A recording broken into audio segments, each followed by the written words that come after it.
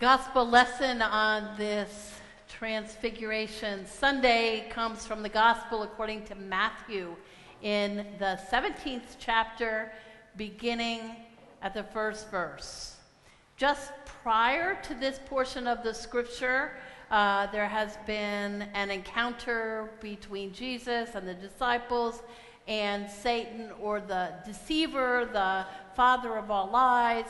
And uh, this immediately follows that conversation.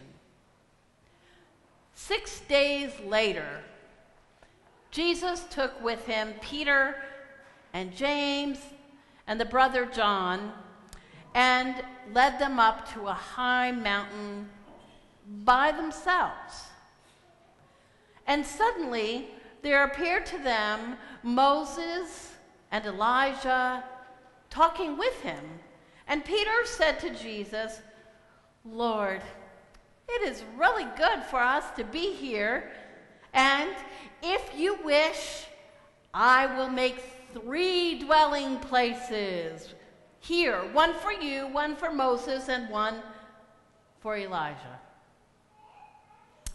While he was still speaking, suddenly a bright cloud overshadowed them, and from the cloud a voice came saying, This is my son, the beloved. Listen to him. I am well pleased.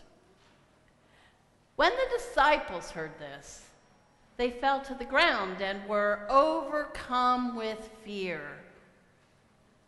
But Jesus came and touched them, saying, Get up and don't be afraid. When they looked up, they saw no one but Jesus, himself, alone.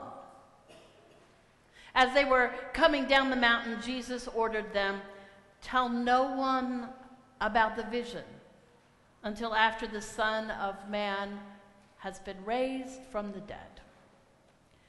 This is the word of the Lord. Thanks be to God. Okay, so I need all the little people up here. We're going to have a little party this morning, so come on up.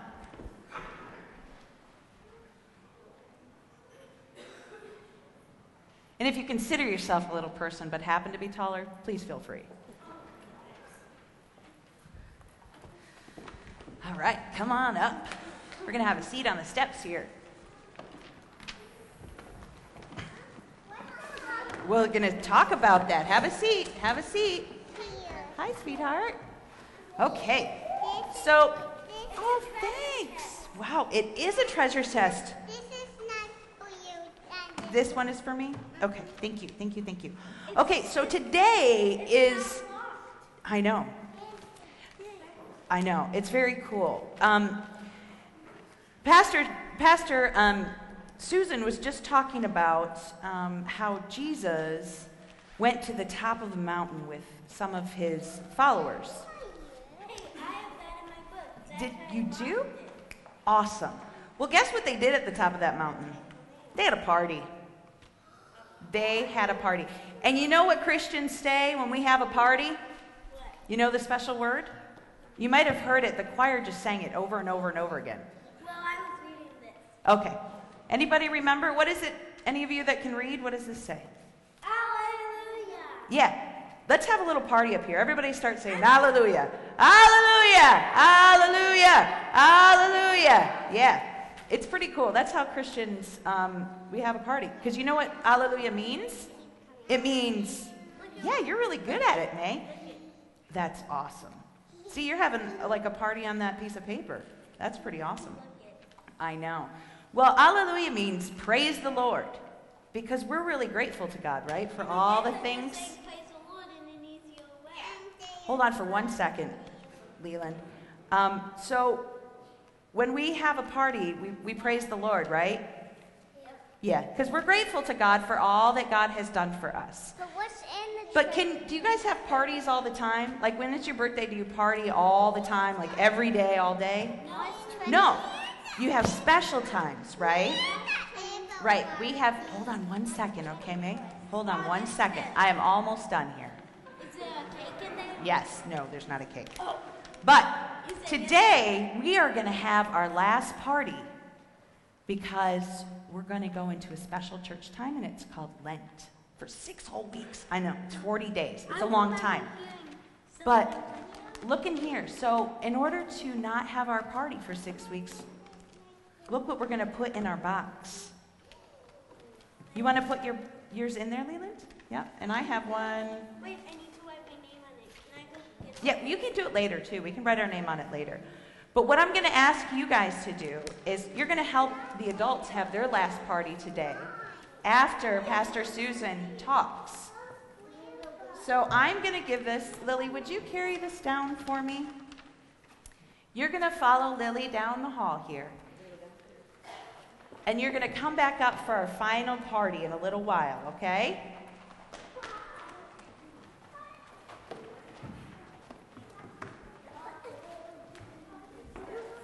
That was very anticlimactic, but it'll get more climactic later.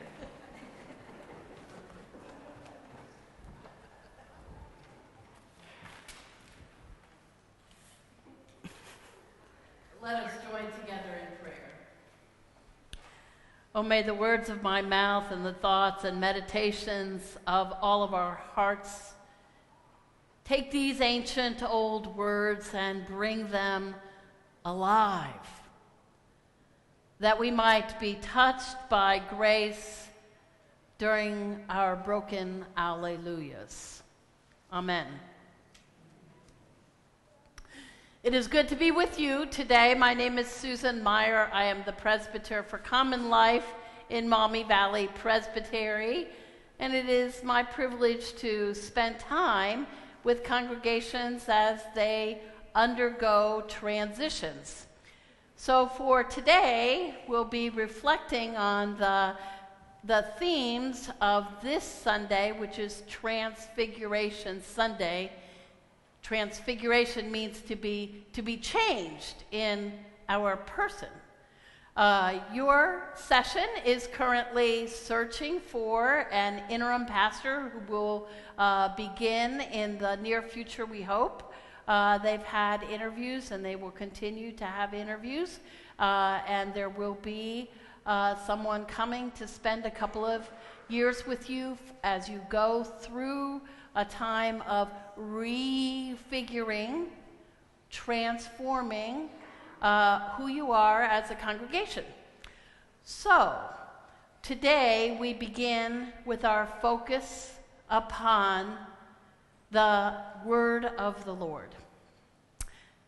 Jesse has invited us through the children uh, to take on a new Lenten discipline.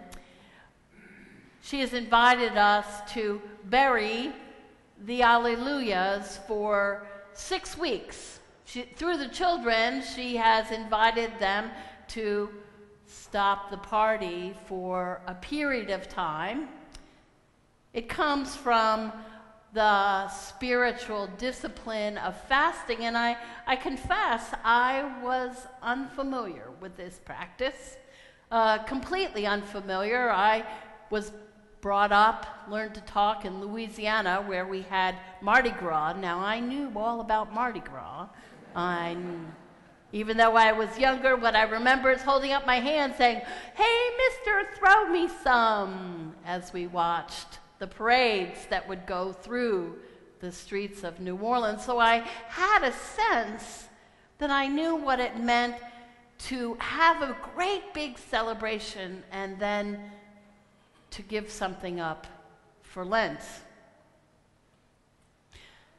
Giving up something for Lent is a kind of fasting that allows us to pay attention to what we might ordinarily miss. And although the concept of burying alleluias make, may make some of us uncomfortable, our Lenten disciplines take us on a journey with Jesus. On this Transfiguration Sunday, we, we pivot away from the twinkling stars of Christmas and we turn towards the deep wilderness of Lent. We leave in the background the babe so appealing in the manger to turn towards the Christ of the cross and the empty tomb. On Christmas Eve, we sang, Hark the Herald Angels Sing, Ah, ah, Alleluia. And on Easter, no doubt, we will again sing, Christ the Lord is risen today, ah, ah, ah, Alleluia. Aren't you glad I'm not singing? And if we were Christmas and Easter Christians only, we might be able to live on the Alleluia side of life. I confess I would much rather live on the Alleluia side of life.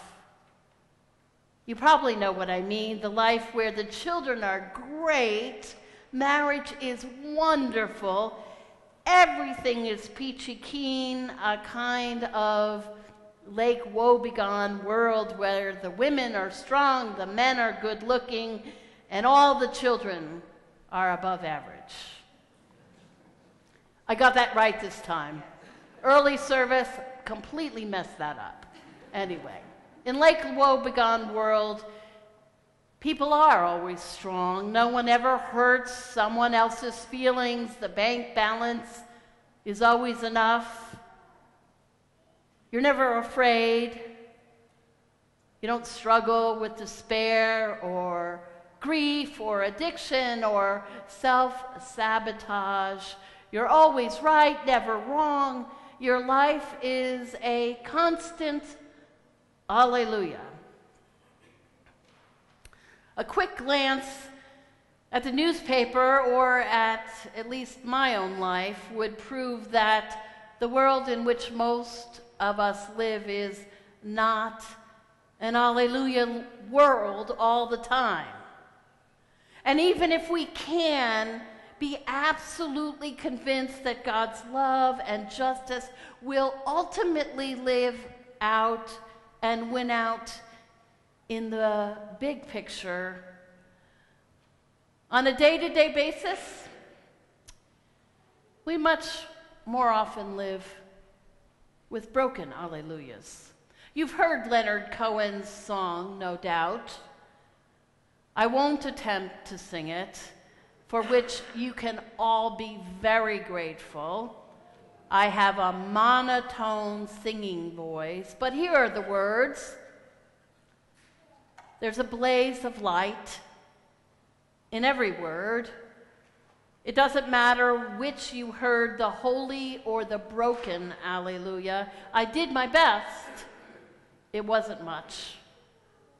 I couldn't feel, so I tried to touch. I've told the truth. I didn't come to fool you. And even though it went all wrong, I'll stand before the Lord of song with nothing on my tongue but broken. Alleluia. Your partner is diagnosed with Alzheimer's. Your child gets hooked on heroin. Your friend is sick and tired of being sick and tired. You don't know why someone else is blind to the truth. You wonder how come your spouse never he- seems to hear what you're trying to say. Down the tr- street, a truck suspected of being a meth lab crashes into the center of your town. The political scene is divided into camps that cannot and will not talk to each other. Your church is in transition again broken alleluias, these. And this is life mortal life, messy life. Life as it really is, not the cleaned up version that we sometimes bring to our Sunday worship. It's no wonder Sunday school teachers want only to teach the miracles during Lent because, after all, the cross is so depressing to teach to children for six whole weeks. It's no wonder Good Friday services are, are sparsely attended because, after all, who wants to willingly enter utter desolation, the utter desolation of nailing hope to the cross? God's way of dealing with the world of broken hearts and broken alleluias is not, thank God, to leave us on the, our own. Look what happens here in this scripture lesson how God tries to get through to us in the midst of our brokenness. First, the spectacular. After an encounter with Satan, the great deceiver, the liar, Jesus heads up the mountain with three disciples, and the spectacular happens. The biblical language says physically Jesus was changed, his face like the sun, garments light. Theater geeks and ball players know about this kind of spectacular. Spectacular happens just before the standing ovation in a musical theater when the performance is breathtaking and you find you're on your feet before you know what your hands are doing. Spectacular is the last minute and a half of a Super Bowl game when your team is the winner, only 10 times, 100 times greater. Spectacular is the moment awe breaks into the ordinary. And I'd like to believe that it's enough to change lives forever. You know, you go away on the mountaintop experience and you, you know that life has changed for you forever. You head home from the baseball game hoping to hold on to that ecstasy at least for one more day. You leave the parking lot of the theater and put a message on Facebook that your life's dream has been fulfilled. Or you are Peter and James and John and you say, I know, this is great. I'm going to hold on to this. I'm going to make three dwellings and we can stay here forever, Jesus. If only we could box the spectacular in and keep it under wraps or under tent flaps or within one dwelling place where you could be sure that you could find that experience again when you needed that boost that the spectacular brings. But we don't stay on the mountaintop. And God is not ever to be limited that way. There's more to the way that God yearns to get in touch with us. Words speak from the beyond. This is my beloved, with whom I am well pleased. Listen to him. Don't box him in. He is the very yearning of God to be in deep relationship with us. A deep relationship that is not bound by structure or booths or tents or our own desire to keep God in a manner that we can hold on to. The great mysterious voice comes because God is seeking with us, with you, a relationship where mystery and reality intersect. And so Jesus touches, physically touches the disciples.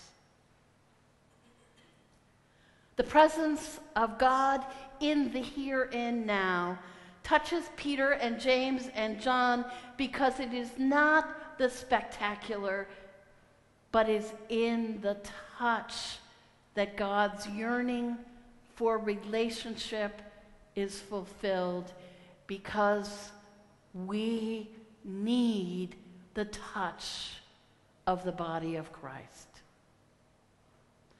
In Matthew, in Matthew, touch is a sign of healing, an announcement that community is restored, and a pronouncement that the kingdom of God has come, has arrived. The touch of the carpenter breaks open life so that human life is rearranged. There's room in the body of Christ for God's action. Remember, remember all the times in Matthew where touch happens and healing occurs. The leper, the leper is made clean and taken out of isolation. The prodigal, grief stricken father is brought back to life. The one who was frozen in place, the paralytic, stands and walks. The blind see clearly. One who could not hear suddenly has his ears open. Another who could not get the words out to say what they mean gets words to speak. Those who are fearful are comforted, and the children, the children are brought close into the inner circle of the body of Christ. These hands of the carpenter king are rough and cracked from absorbing splinters, hewing wood, and those are the hands that reach out to touch. The, the hands of the body of Christ literally lack SPF 50 sunscreen. They are dried and darkened by, wooding, by working under Middle Eastern blistering sun, but those rough and tumble, cracked and splintered hands are the ones that make life without fear possible. The hands of the body of Christ will, in the days ahead, wash the dirty feet of the disciples. These hands would be stretched out on a cross. These hands would turn over temples, tables in the temple. They bear scars no lotion can heal, and no oil can soothe. But these are the hands, the very hands of the body of Christ that break open Christian community, rearranging life so that there is room for God in our movements. For many years in my first call in Wooster, Ohio, I was chaplain to a group of parents whose children had died. It was a group that never wanted any new members. We always hoped that we would go out of existence because there would be no need to be together. When my own stepdaughter Amy died a couple of years ago, one of those parents sent me a poem from Mary Oliver's book called In Blackwater Woods. Now, it had been 30 years since I had heard from him. But here's the poem. Every year, everything I have learned in my lifetime leads back to this.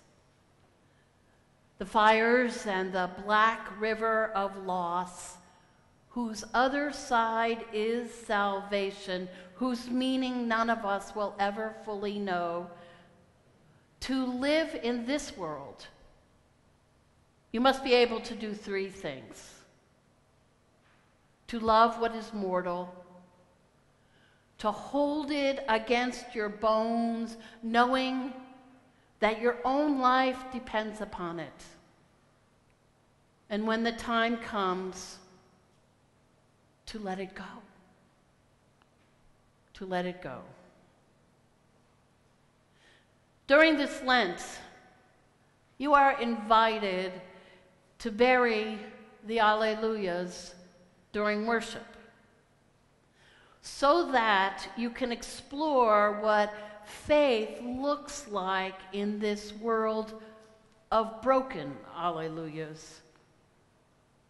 You are invited to journey on this journey with Jesus so that you might love what is, even if it means loving something that is messy and uncomfortable. You are invited on this Lenten journey to be the hands of the body of Christ, to set fear aside because fear, at least in the world of faith, fear doesn't take us anywhere good. It is the casting out of fear that the scriptures over and over and over again at Christmas, at Easter, and every time in between, it is the casting out of fear that takes you straight to the heart of God. So reach out, body of Christ. Reach out and touch now in this mortal life. Amen. Let us pray. Oh God, reach out and touch us. Heal broken lives and hearts. Change our mortal life that we might be your body here on earth. Reclaim our broken alleluias so that we are well prepared to rise and sing that you are indeed risen again. Amen.